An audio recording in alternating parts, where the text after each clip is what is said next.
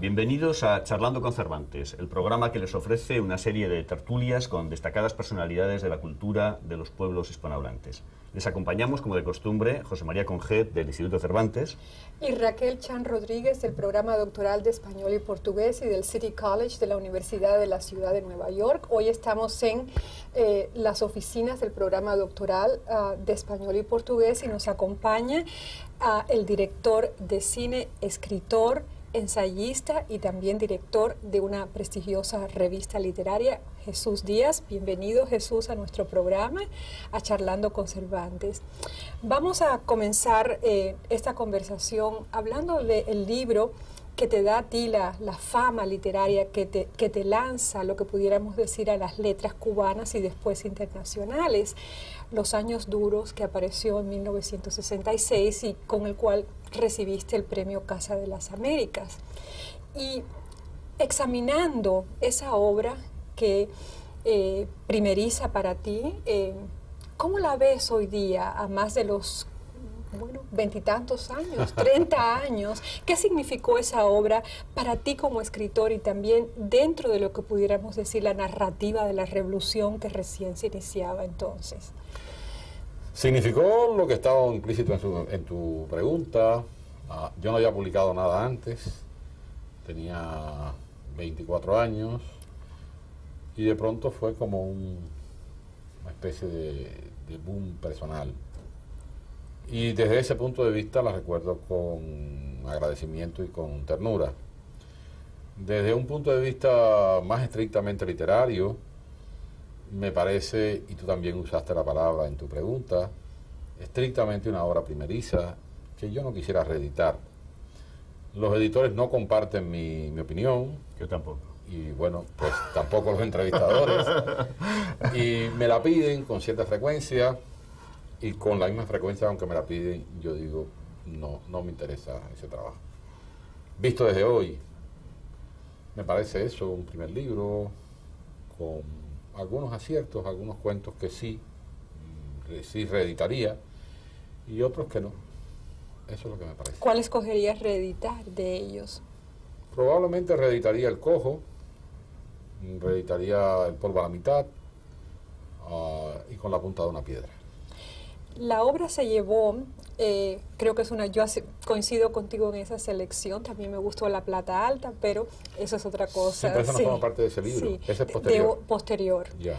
Uh, volviendo, esta obra de los años duros uh, se llevó también al teatro, algunos de los, de los cuentos se llevaron al teatro. ¿Pudiéramos, ¿Pudieras hablarnos de esa transformación del, de, de, los cuentos en obra ¿Digo dramática? Sí, no, siempre la verdad.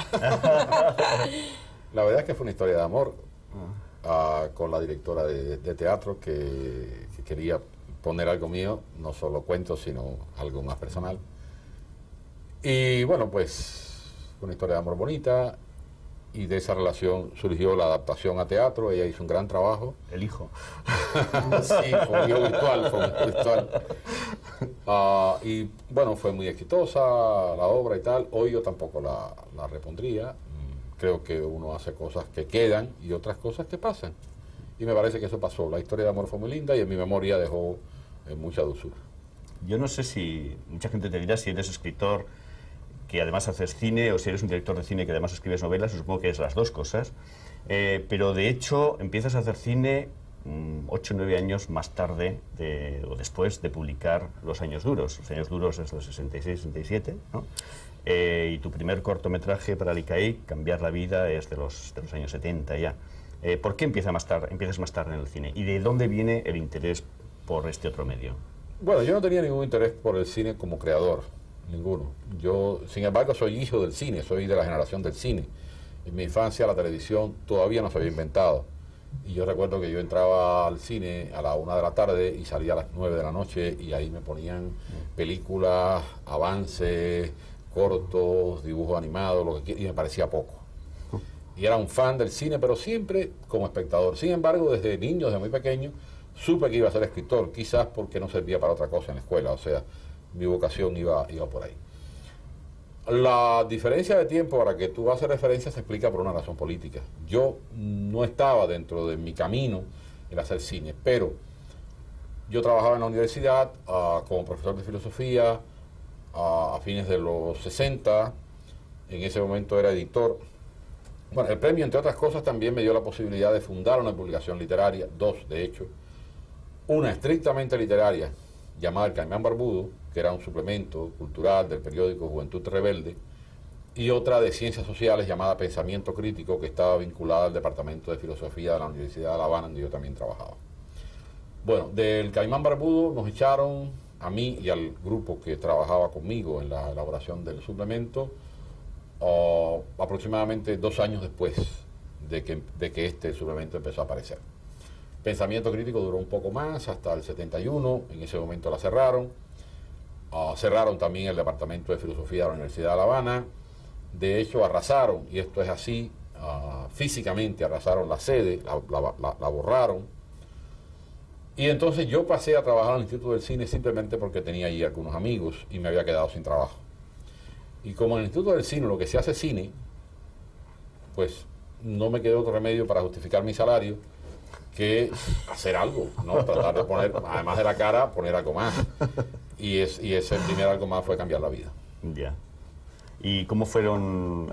Tú tienes eh, supongo que a lo mejor Raquel también te lo quería preguntar, esta relación, el otro día te lo comentaba yo, entre tus novelas y el cine, entre lejanía y la piel y la máscara. Eh, la literatura reflexiona sobre el cine, el cine sobre la literatura, son actividades completamente paralelas pero que no se mezclan. Ahorita estaba desayunando en New York y estaba, estaba, había un gran cristal y la gente caminaba por la calle.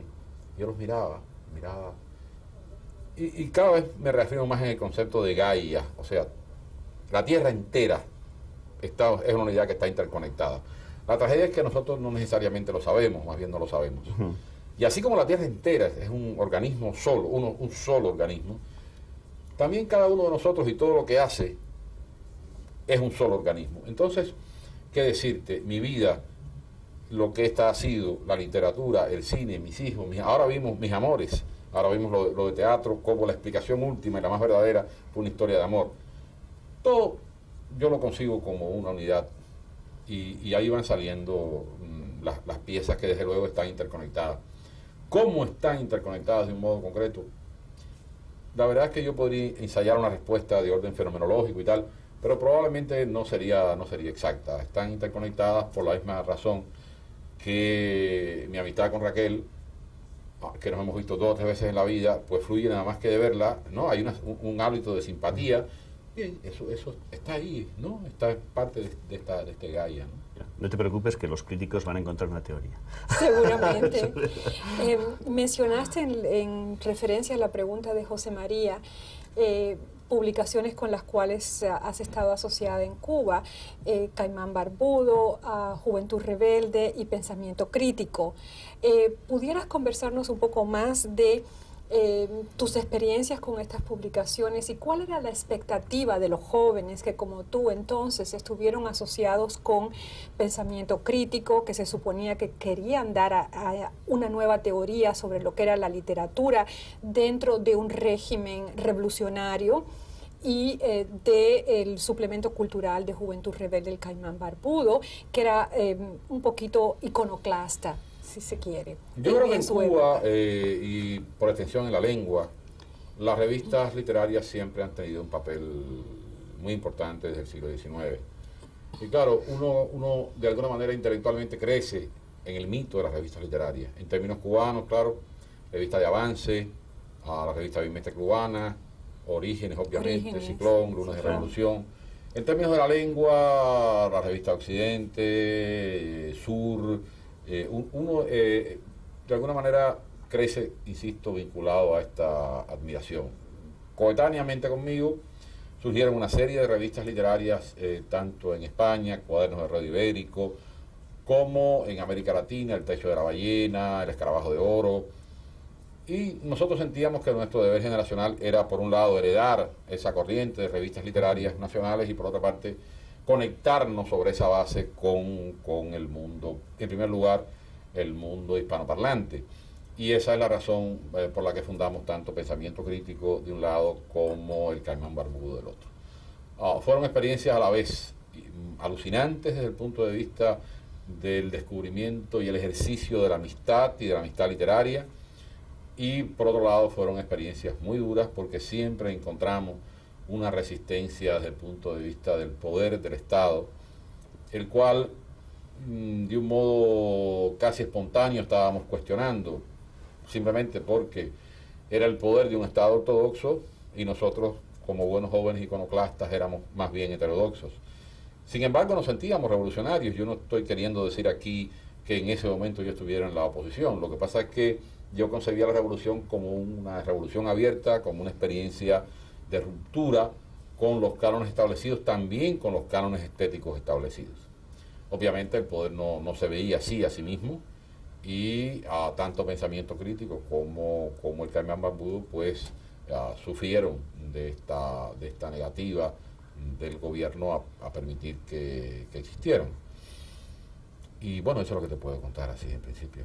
Tú ahora te encuentras en el exilio, pero lo que sorprende es que el tema del exilio, el tema de la división de los cubanos, de las dos Cubas, te ha preocupado desde siempre. El primer largometraje tuyo, es 55 hermanos, trata precisamente sobre el regreso de 55 muchachos a Cuba. Debo decir que no es un mérito mío ese, debo decirlo. Eh, ustedes me gustan mucho, entonces digo, no, dejan las cosas como fueron.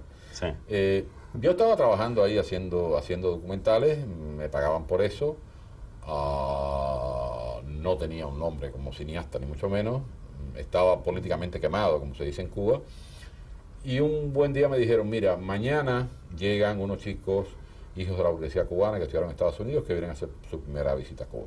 Entonces tú te vas eh, al aeropuerto, lo filmas y le haces una especie de retrato de familia un poco para, yo espero que ustedes me den una copia del vídeo, bueno, un poco para eso, ¿no? Para darles una copia de su, visita a Cuba. Yo digo, mañana en el aeropuerto a tal hora.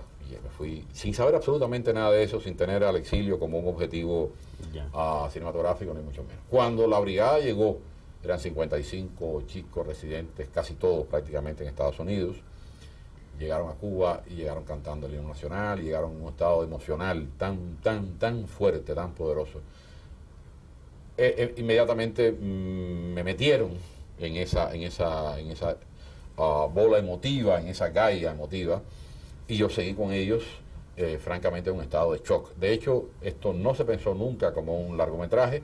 Cuando yo pedí lo que en Cuba entonces se llamaba ampliación de presupuesto, o sea, más película, no me entendía la dirección. Pues, ¿Para qué? Si ya llevas una semana y has filmado mucho más de lo que tenías que haber filmado. De hecho, una parte de la película me la robé, con la ayuda de los cámaras que entraron al laboratorio, que estaban también muy, muy metidos en el trabajo y desde luego no se esperaba en absoluto que ahí, ni se pretendía ni se quería que ahí surgiera un largometraje. Surgió, se rodó en 21, días, es el largometraje más barato de la historia del cine cubano. Ah, y lo más impresionante fue que lo programaron mal en los cines, ah, con una programación totalmente subordinada. Y fue la población, fue el público el que lo descubrió y lo proyectó y se convirtió verdaderamente en un, apelativo pues, de, orden, de orden masivo. Yo pienso que todo eso se debe a que por primera vez la población cubana de la isla tenía un contacto visual y auditivo con el exilio y también porque ese exilio no era presentado como enemigo y ahí incluso el título de la película 55 hermanos y hermanas.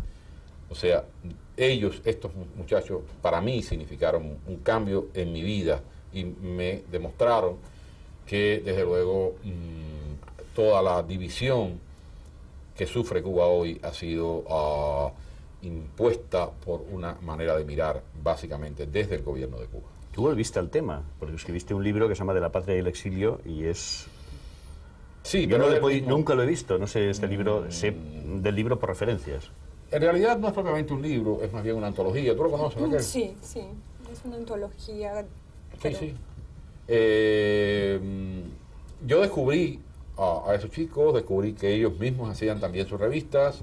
Ah, por un lado la revista Leito, por otro lado la revista Joven Cuba y otras publicaciones, que algunos de ellos habían publicado libros, que escribían desde luego poemas, cuentos, etcétera.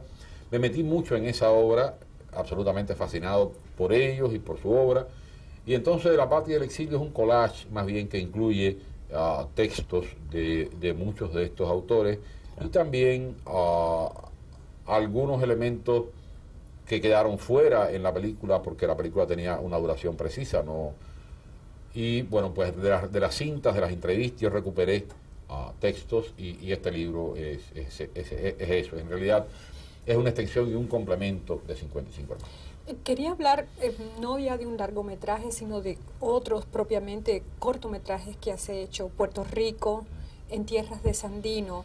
¿Qué nos puedes decir de esa, de esa, del rodaje de estos cortometrajes, de que cómo esta labor y al mismo tiempo la labor que has realizado de guionista impacta en tu producción literaria y en tu manera de visualizar, de representar a través de la, de, de la palabra, ya no de la imagen? Bueno, a, a ver cómo si logro desglosar en el tiempo. Puerto Rico siempre ha sido una de mis obsesiones como cubano.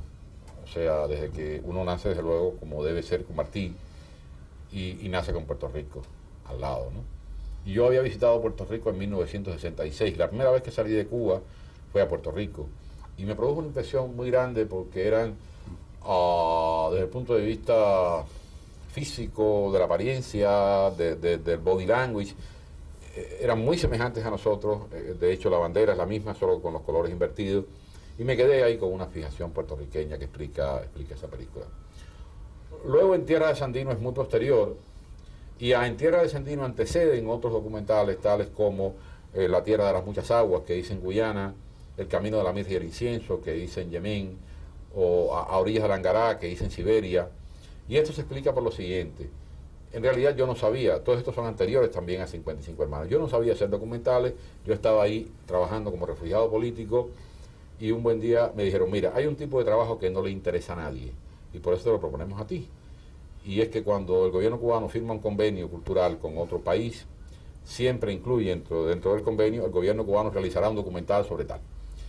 Y eso no le interesa a nadie y nadie lo ve y ningún cineasta lo quiere hacer. Entonces, como tú eres el último de la fila y además estás políticamente quemado, te designamos para hacer ese trabajo.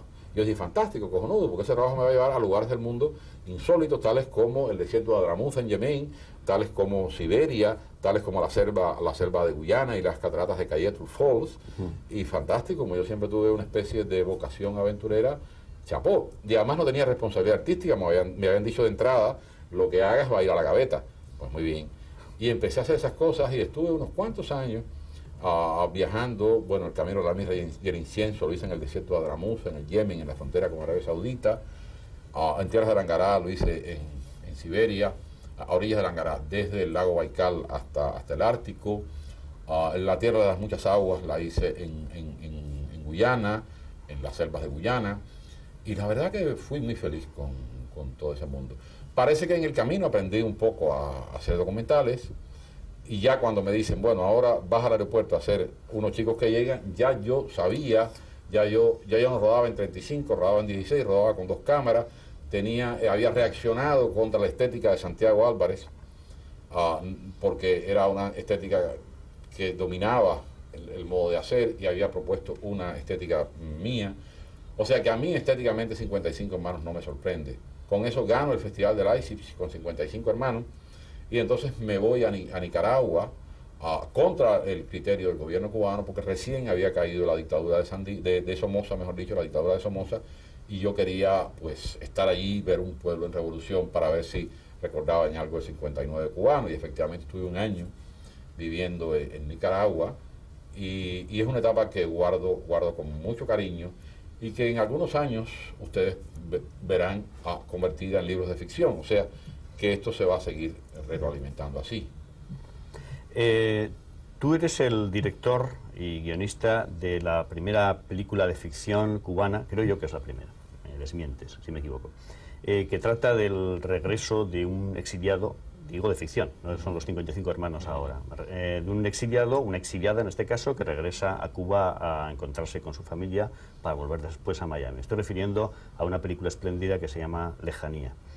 Eh, ¿Nos puedes hablar un poco de Lejanía? Creo que fue un éxito de público enorme, mm, la crítica oficial no la recibió muy bien. No, la crítica oficial fue muy graciosa, porque no la recibió en absoluto. Hubo un vacío. El ninguneo que llaman los Eh, mexicanos. ninguneo, pero ninguneo llevado a un extremo eh, de silencio que creaba una cosa esquizofrénica, porque en los, en los cines había colas multitudinarias, porque efectivamente fue una película muy bien recibida, luego ganó el Gran Premio en el Festival de Delhi, eh, fue una película que aquí la, la revista Cineast le dedicó un buen espacio, fue una, una película que tuvo una, una recepción de, tanto nacional de público como internacional de crítica muy ah, destacada. Y la crítica cubana no habló de ella, no dijo una palabra. La, me ustedes me preguntarán por qué. Mi respuesta es la siguiente, estaban perplejos, no sabían qué decir, puesto que no era una película políticamente correcta. Por una parte les gustaba, porque yo los conocía, La Habana es pequeña, éramos 100, y los críticos me decían, oye, qué buena película y tal. Y yo decía, bueno, y, vas a hablar de ella. Y decía, ¿qué digo? Dime tú qué digo. ese no es mi trabajo. Mi trabajo es hacer la película, cada cual lo suyo, ¿no? Entonces, como una compensación muy paradójica y muy reveladora de cómo son las cosas, ah, fue elegida la mejor película del año. Por es la misma crítica que no había dicho una palabra sobre ella. Entonces, bueno, pues así son las cosas. Eh, tu libro, ahora vamos a pasar un poco al, aspecto literario. Eh, las palabras perdidas. Ahí, eh, bueno, siempre las palabras perdidas, los pasos perdidos, ¿no? Recordando a Carpentier, aparecen justamente los íconos de la literatura cubana. Tienes a, Diego, a Piñera, a Carpentier, a Lezama. Hablas de ellos a veces con un tono ah, cariñoso, otras veces con un tono casi paródico. Entonces, lo que quería preguntarte em, específicamente es, ¿cuáles de estos escritores han influido más en tu obra? ¿Cuáles admiras más? Mira, los que más admiro son los cinco que están. Y hay un sexto, e incluso un séptimo, pero sobre todo un sexto que no está y que debería haber estado. Y, y no está porque en ese momento yo no conocía suficientemente su obra, y lo digo con mucha tristeza, y lo quiero decir mirando a cámara, que fue Gastón Vaquero. Gastón Vaquero estaba en el exilio, Ah, en Cuba yo tenía acceso solamente a algunos mm, eh, folletos iniciales. La, su mayor y la mayor y mejor parte de su obra la escribió en España y la publicó en España en ediciones muy pequeñas. Y la verdad es que yo no lo había leído suficientemente. De haberlo leído como lo he leído hoy, pues sin duda Gastón hubiera sido uno de los, de los íconos eh, de, la, de, mi ah, sensibilidad literaria. Los otros que están yo diría que en un momento u otro ah, me influyeron mucho. Quizá Carpantía primero, Lesama después, ah, incluso a veces por contraposición. A mí me irrita el modo desgarbado de escribir de Virgilio, pero sin embargo me provoca. O sea, mm, todos, y ese es mi, mi canon, si, si, quieres que te diga, de la literatura cubana, en el que faltaría uh, de este siglo, en el que faltaría, como ya dije, Gastón, y probablemente Guillermo Cabrera Infante, que es un autor también que en sus dos primeras novelas, o sea, Tres Tristes Tigres y La Habana para un infante difunto, y también en su libro de cuentos, Hacían la paz como en la guerra, es un autor que yo aprecio mucho. Y que también parodia ¿no? a los íconos de la literatura cubana, en particular en Tres Tristes Sí, lo que pasa es que en su calle, ahí sí, es cierto, sin duda. Eh, bueno, eso tiene una tradición literaria muy, muy grande. Joyce parodia medio humanidad, Ah, hay la diferencia entre el modo en que lo hace Guillermo y el modo en que lo hago yo es que yo no solo parodio, sino construyo los personajes. O sea, yo trato de salvar eh, el, ser cotidiano de Lesama, de Carpentier, de Guillén, y también trato de que eso funcione en la novela como parte, tenga en sí mismo una necesidad dramática. No esté ahí solamente porque yo quiera, sino porque es dramáticamente necesario que ocurra.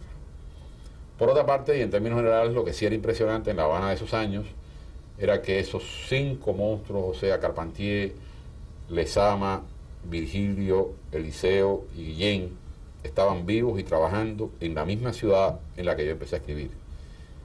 Y entonces era muy fuerte, porque si tú te lees El siglo de las luces, y después te lees Paradiso, y después te lees En la casa de Jesús del Monte, y después te lees eh, Aire Frío, y después te lee cantos para soldados y zonas para turistas, y después te sientas a escribir y dices, yo qué coño tengo que decir aquí.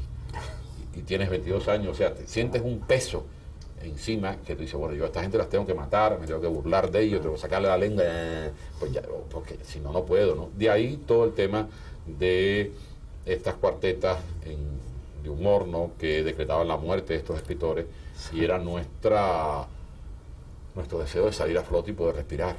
Ya. Eh, tú en el exilio, eh, en Madrid, eh, te has constituido en director, has creado y diriges una revista que todo el mundo está de acuerdo en que es una revista enormemente importante para la cultura cubana, no para la cultura cubana en el exilio, sino para la cultura cubana tuco, ¿no? Mm. Se llama Encuentro de la Cultura Cubana. ¿Quieres hablarnos un poco de esta revista que acaba de llegar, acaba de publicar el número 9? Bueno, encantado. Bueno, Encuentro es la continuación de las revistas anteriores. Y desde la perspectiva del exilio ahora mm, veo con toda claridad una cosa que ya intuí en 55 hermanos hace, eh, no quiero acordarme cuántos años, muchos en todo caso. Que es que la cultura cubana es una, es un corpus identitario, que esta división es una división, uh, digámoslo así, impuesta desde fuera. Hay matices, evidentemente, hay elementos de formación distintos, pero la cultura cubana, creo yo, necesitaba desesperadamente un espacio común donde, donde debatir, donde eh, estar, una contigüidad también. Y encuentro es eso, encuentro es eso. Ah, en encuentro ya hemos publicado, como dices tú, hasta el número 9. Mm, las líneas editoriales de la, de la publicación son muy sencillas. Primera, no habrá llamados a la violencia en el futuro de Cuba, en las páginas de encuentro. No los publicaremos. Segundo, no publicaremos ataques personales. Y tercero, exigiremos un alto nivel de calidad para aparecer en esas páginas. A partir de esas tres premisas, cualquier texto, no solamente escrito por cubanos, sino también por no cubanos que tengan un interés en la cultura cubana, pues podrá aparecer en la página. Nos tenemos que despedir. Pues muchas gracias Jesús. Hay muchas preguntas que se nos han quedado, pero será pues para la próxima. Gracias por estar con nosotros. Muy bien. A mí no me queda más que despedir también a Jesús Díaz y decirles a ustedes que esperamos que de nuevo estén charlando con Cervantes con nosotros en el próximo programa. Hasta entonces, muchas gracias.